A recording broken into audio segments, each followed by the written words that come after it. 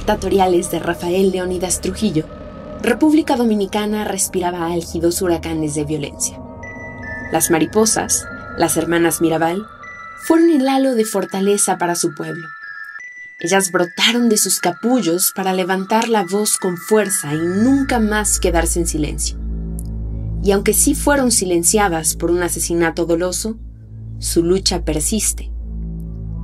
En el tiempo de las mariposas es un filme que narra la historia de estas hermanas, consideradas verdaderas heroínas y por quienes el 25 de noviembre, fecha de su muerte, se ha establecido el Día Mundial de la No Violencia contra la Mujer. Las mariposas que ellas han dejado en el camino continúan la metamorfosis del movimiento para erradicar la violencia en razón de género. En el programa de hoy, la doctora Abril Uscanga Barradas rememorará a las mariposas dominicanas mediante el análisis de esta obra.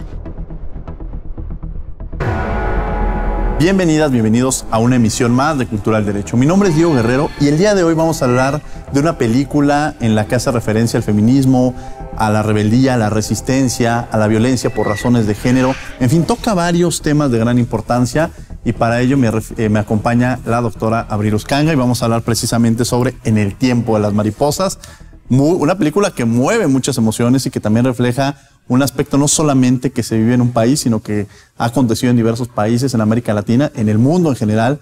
Y bueno, ¿por qué elegiste esta película y qué llamó tu atención de la misma? Abril, bienvenida. Muchísimas gracias. Muchas gracias por la invitación, muy estimado, querido Diego. Pues para mí es un gran placer estar aquí, estar con tu auditorio. Muchísimas gracias por la invitación. Creo que es una película que, a pesar de que no es la clásica película de Hollywood, es una película que refiere Aún eh, me gustan mucho las películas que son eh, eh, de la, que tienen algo de la vida real. Yo creo que esta película sin duda lo tiene. Una película que se realiza a través de una novela de Julia Álvarez, una dominicana estadounidense que nace en Estados Unidos, crece parte, parte de su infancia la pasa en República Dominicana regresa a Estados Unidos y ahí empieza a hacer su carrera como escritora. Creo que esta es una de las obras magnas, no la única, pero una de las obras magnas que tiene como escritora. Entonces empieza ella dando una reflexión acerca de esos tiempos de la dictadura. A mí me gustan mucho los temas filosófico, políticos, teórico, políticos. Y yo creo que esta además atiende a una perspectiva feminista, a una perspectiva de algo que para nosotros es muy importante, pero que a veces los alumnos o incluso nosotros como juristas no, no nos damos mucho cuenta, que es cómo es que esta historia en particular, real, de las hermanas Mirabales, proyectan hacia el futuro un cambio total, que es que ese cambio se da y la fecha de su muerte, el 25 de noviembre de 1960. Entonces, cuando veo el contexto, cuando estudiamos un poco el contexto y cómo esto trasciende a esta declaración de la ONU de un día internacional que busca la eliminación de la violencia contra la mujer, es, llama potentemente la atención y a pesar de cómo inicia la novela, que inicia en inglés, que de hecho por eso la película está en inglés. Sí, sí, sí. Entonces es como la escritora dominicana trata de hacer una trascendencia acerca de la historia de su familia, no exactamente de su familia, pero cómo, digamos, cómo ella trasciende hacia sus raíces familiares en República Dominicana. Ella regresa a buscar esa historia República Dominicana y cuando hace el libro se convierte en un bestseller. Claro. Por esta parte que tú mencionas que juega con aspectos de la vida real, con, basada, más bien eh, una historia ficticia basada en aspectos de la vida real. ¿Quiénes son estas hermanas Mirabal? Que nos platiques un poco y por qué les decían incluso el título de la película, Mariposas. Las mariposas. Las mariposas. Claro que sí. Bueno, aunque realmente conocemos a tres, la historia de tres de ellas, que son las tres que murieron, que sería el caso de María Teresa, Patria y Minerva, que son las tres hermanas que mueren en un supuesto accidente automovilístico, aunque, aunque toda la población, por supuesto, conoce que es parte de las repercusiones de ser opositoras al gobierno en aquel momento. Y posteriormente también se denota que ellas fueron golpeadas, que fueron estranguladas y que ese fue el motivo real de la muerte, cuando ellas iban regresando de una visita que le hacían a sus esposos que estaban encarcelados, cuando ellas también meses anteriores habían estado encarceladas, simplemente que el gobierno de Trujillo las dejó libres unos meses antes de la muerte y eh, digamos, en ese transcurso fue cuando ellas, eh, en el regreso de la visita a sus esposos, es cuando ellas, eh, pues ahí encuentran la muerte a manos de quienes son parte del gobierno. En algunos casos dicen que fue el SIM, el Servicio de Inteligencia Militar que abanderaba Trujillo. Entonces esas son las tres, digamos, las tres principales hermanas, aunque ellas son cuatro. Ahí faltaría una hermana que sobrevive al régimen de Trujillo, que es Dede. Esta hermana es tal vez un punto fundamental y ella misma lo relata en parte de sus documentales. Dede lo que dice es que sus hermanas van a pasar a la historia, pero que su función es relatar, hacer memoria acerca de ellas y entonces consagra una vida para hacer la memoria de las hermanas muertas. Le sobrevive a los padres, le sobrevive a las hermanas, muere creo que en el 2014 aproximadamente, en donde ella eh, muere por otras razones totalmente diferentes. Entonces son cuatro hermanas Mirabales, pero solamente tres son las que se activan políticamente. La más tal vez relevante en la novela, en la historia, es Minerva. Minerva, que es esa mujer que se relata que hay una confrontación con el dictador en turno una confrontación que yo creo que va desde un apartado feminista, un apartado ideológico, pero también un apartado político. Ella va encontrando junto con sus hermanas, a través de su historia y el paso del tiempo, se van dando cuenta que el régimen desaparece y asesina a muchos familiares de sus amigas, de sus conocidos y así sucesivamente, cuando va incursionando incluso Minerva, que es la que más atiende a una perspectiva de seguirse formando, educando y una parte importante es que se quiere formar en derecho. Claro, que eso tendría mucho vínculo con nosotros. Ahora, generalmente a lo largo de diversas historias nos percatamos que los protagonistas son hombres, ¿no? En muchas, creo que algo que hay que, hay que visibilizar en esta película es que las protagonistas, las que luchan, son mujeres. Y creo que también esto tendría, hay una escena que para mí creo que es importante y nos lleva también a la universidad. Cuando ella va a recibir su título y le dicen, bueno, usted ya, ya está casada, ya va a tener hijos y no necesita, yo le dije que podía estudiar, más no recibir el título. ¿Qué representa esto también, este, este lucha feminista o esta, o esta búsqueda también de reconocimiento por parte de las mujeres, que efectivamente era la única mujer estudiando y que si bien hemos tenido pasos importantes, todavía falta mucho por construir, uno, para poder garantizar un tema de equidad y de igualdad en las universidades en, diversos espacios, tanto administrativos como también académicos y demás. O sea, creo que eso también hay, hay que visibilizarlo y además tú eres una joven académica que hayas empezado desde pues pasos, paso, paso, paso, paso, pasaste por el SIJA, tienes tu definitividad, todo este proceso que no ha sido sencillo y que seguramente también ante estos ojos has visto otros casos, otros escenarios que, ha sido quizá más fácil bajo también el esquema de ser hombres, ¿por qué no decirlo, no? Sí, sin duda. Me encanta la perspectiva que tienes acerca de, de esa escena. En realidad, yo creo que es una escena muy frustrante para ella que define gran parte del carácter de lo que va a ser posteriormente ella ya estaba, ya tenía un ánimo interno acerca de una posible oposición, va convenciéndose acerca de las irregularidades que hay y cuando termina de estudiar derecho lo que quiere es ejercer, pero efectivamente le dice, ya te casaste, vas a tener hijos muy pronto, entonces no, no va a ser necesario, no lo vas a necesitar. Yo creo que es parte de, las, eh, de los bloqueos, es parte de los techos de cristal, es parte de los suelos pegajosos que vivimos en muchos sentidos las mujeres en muchos ámbitos. Y de ahí viene la necesidad de la equidad de género como un punto sustancial y como una condición sustancial de todas las mujeres para tener las mismas oportunidades, no solamente, digamos, que no solamente son en el ámbito laboral, sino que vienen desde casa. Es decir, desde ahí se forma una perspectiva diferente de cómo vas a actuar en la sociedad, de cómo percibir, de cómo entender las diferentes situaciones. Entonces a mí me parece que justo la equidad de género que ahora vivimos y que por lástima esas tres hermanas Mirabal tuvieron que tener ese fin, que hay un, digamos, un homenaje muy bonito acerca de, de, esa, de la vida de ellas, pero es lamentable que cualquier opositor, que cualquier persona que piense diferente, deba de tener ese, ese fin. ¿Qué hubiera sido, por ejemplo, para República Dominicana si ellas no hubieran muerto? Probablemente eh, eh, hubieran tenido una un, digamos, posibilidades dentro de la política. Seguramente algunas de ellas habrían sido líderes fundamentales de un movimiento feminista que hubiera explotado de forma masiva en Latinoamérica. Creo que, creo que es fundamental lo que, digamos, preservar parte de su memoria, preservar parte de la historia y también entender que actualmente es parte de la lucha cotidiana también de nosotras las mujeres que va en conjunto, y ahora creo que se debe entender de esa forma, en conjunto con una lucha del hombre también, donde veamos conjuntamente que esto es no solamente de un lado o del otro, no es quitar y poner, sino todo por el contrario, es conjuntamente trabajar eh, por un mejor estado de derecho. Me quedo con esa reflexión, vamos un corte, no se vayan, estamos en Cultural Derecho.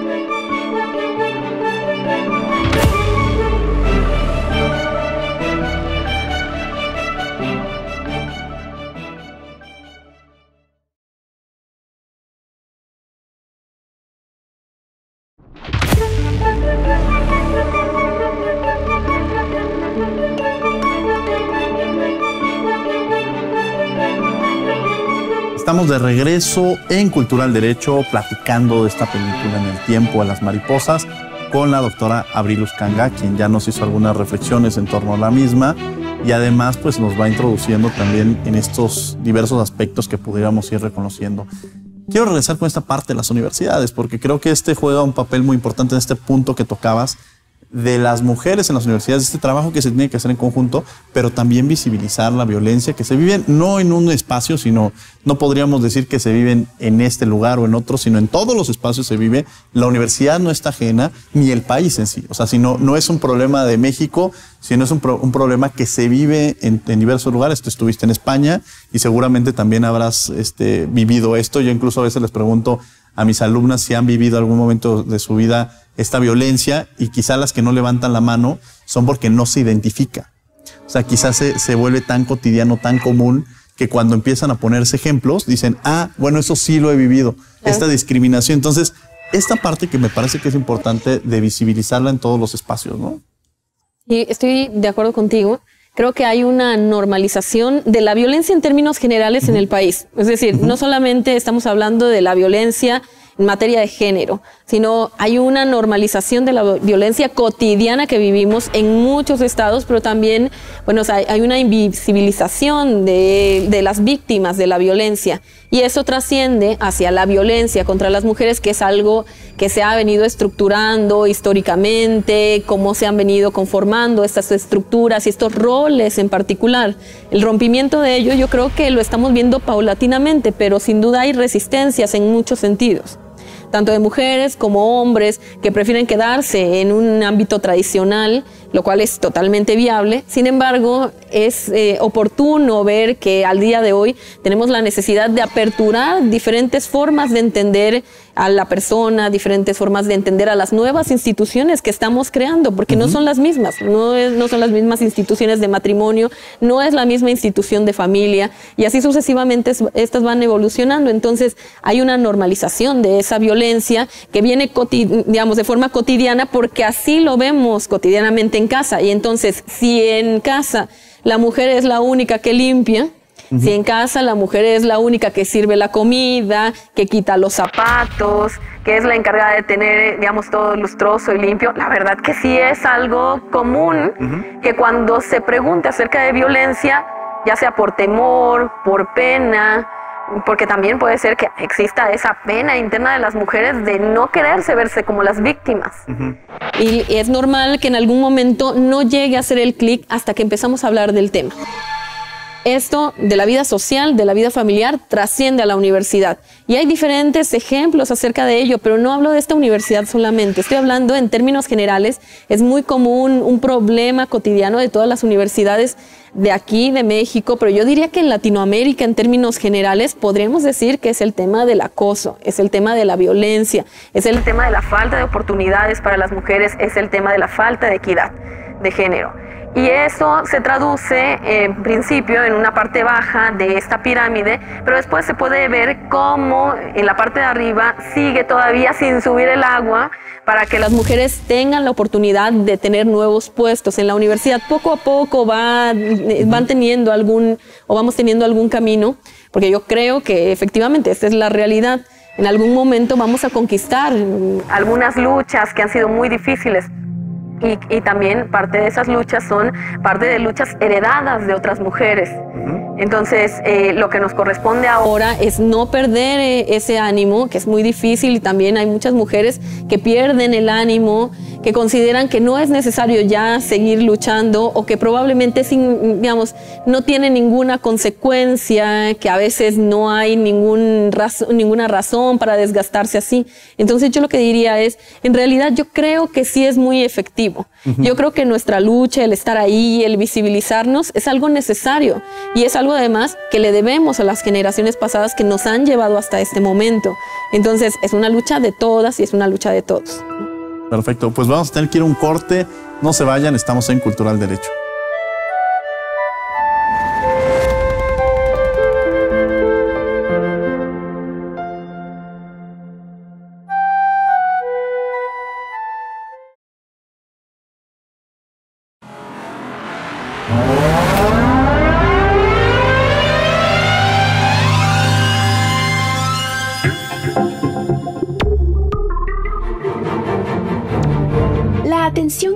Hacia los problemas sociales fue la marca característica de la esposa del expresidente Echeverría, María Esther Zuno, al tiempo que cubría importantes campos de desarrollo nacional, alfabetizar, iniciar a algunas mujeres en el liderazgo político y como parte fundamental del programa, preparar parteras empíricas. Volvió obligatorio que las esposas de funcionarios de alto rango y nivel participaran en la asistencia social, en lo que paradójicamente se llamó la Red de Servicio Social Voluntario que ella misma encabezó. La compañera, manera en que ella misma se hacía llamar en contraposición a su título de primera dama, se identificó por su estilo de acompañar el poder, sobre todo al hacerse presente en la ceremonia del 15 de septiembre, en donde hubo agua de Jamaica para la recepción. Su personalidad ambientada en el nacionalismo la llevó a decorar la casa presidencial con artesanías mexicanas. Adoptó la costumbre de portar vestimentas tradicionales para darle la bienvenida a los dignatarios que llegaban hasta Palacio Nacional y Los Pinos. La escritora Sara Sefcovic, autora de La suerte de la consorte, reveló que durante la visita de la pareja presidencial al Palacio de Buckingham, María tuvo a bien tender su cama, lo cual resultó en una mirada despavorida de los criados de la realeza británica. María Esther Zuno es una mariposa más en el sendero de la resistencia femenina, por la lucha igualitaria, incluyente y solidaria. Sigamos aleteando con fuerza por las mujeres pasadas, presentes y futuras. Seamos mariposas encendidas, revolucionarias. Estamos de regreso en Cultura al Derecho platicando sobre esta película en el tiempo de las mariposas con la doctora Abril Uscanga y hemos tocado diversos aspectos, incluso de la propia universidad.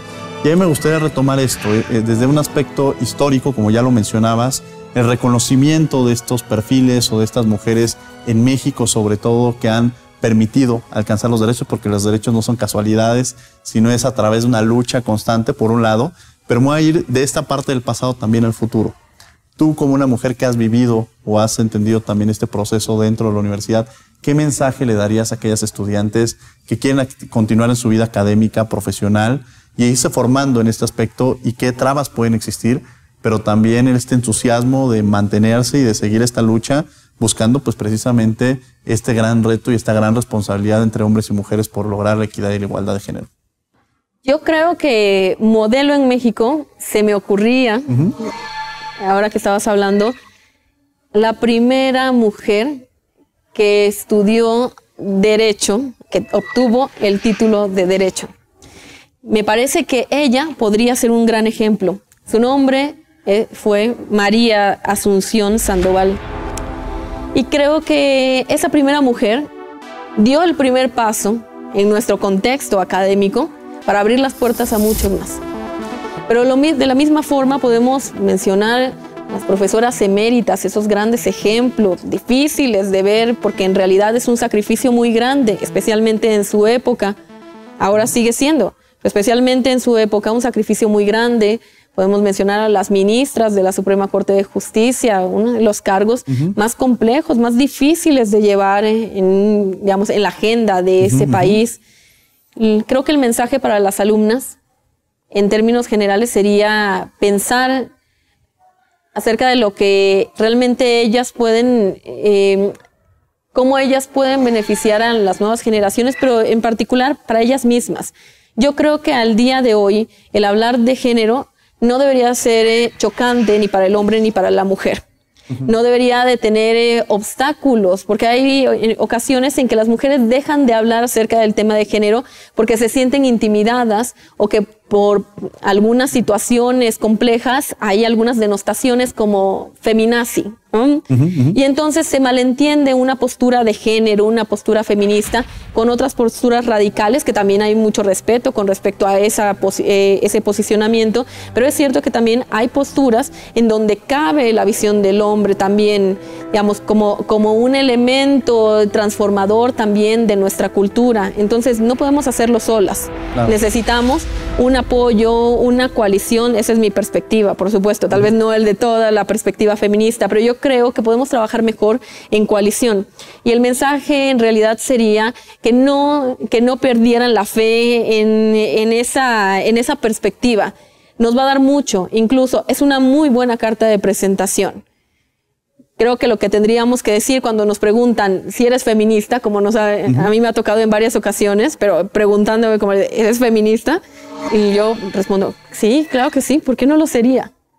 Entonces, el mensaje para ella sería, claro que sí, y hay que abanderarnos como lo que somos, sin tratar de robar otros roles, sino con lo que nosotros tenemos, y a partir de ello, empezar a construir una nueva visión acerca del feminismo. Abril, eh, ya para cerrar el programa, me gustaría que nos dijeras qué podemos rescatar de esta película y algún mensaje con el que quieras cerrar para nuestro auditorio. Claro que sí.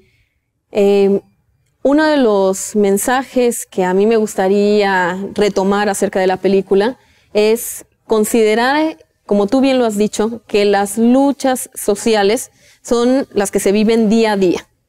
Que esas luchas sociales por generar nuevos espacios son luchas sociales importantísimas, pero que adicionalmente, a través del tiempo, esta película nos muestra cómo después de la muerte de las tres mariposas, en 1960. Posteriormente, en 1999, la ONU consagra ese día, el 25 de noviembre, como el Día Internacional para la Eliminación de la Violencia.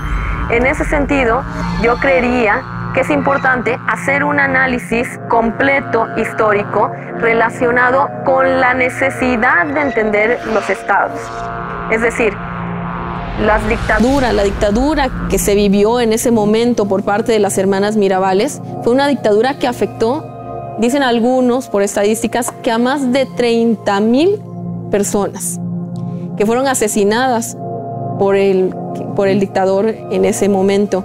Pero yo creo que algo interesante para nosotros como abogados es entender que esto solamente se puede prevenir estableciendo primero límites a la militarización de los estados Segundo, estableciendo y fortaleciendo los controles y los contrapesos que tenemos en el país, los checks and balances. Y tercero, estableciendo un Estado de Derecho en donde encontremos el imperio de la justicia, el imperio de las leyes y no el imperio del hombre. En ese sentido, creo que tendríamos robustecido un Estado importante en donde todos nosotros como abogados podemos transmitir a las nuevas generaciones y nosotros mismos vivir de una mejor forma a través de los derechos humanos. Abril, muchas gracias por haber estado con nosotros aquí en Cultura del Derecho. Muchas gracias, querido. Y gracias a ustedes por acompañarnos en una emisión más. Los invitamos también los martes, estamos en Radio UNAM 96.1 FM a las 4 de la tarde en Derecho a Debate. Que tengan muy buen día.